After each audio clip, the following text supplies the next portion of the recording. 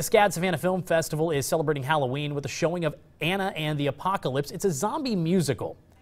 But Monday night, we caught up with Karyn Kusama, the director of scary movies like Jennifer's Body, Her Only Living Son, and The Invitation. We asked her what she thinks makes horror films created by women stand out. I, I think horror depends on a sensitivity to the vulnerability of the audience.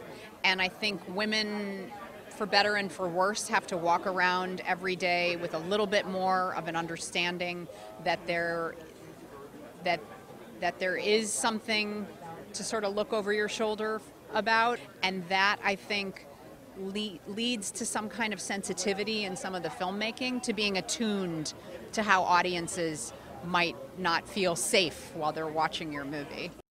Kusama was in town promoting her new film Destroyer starring Nicole Kidman.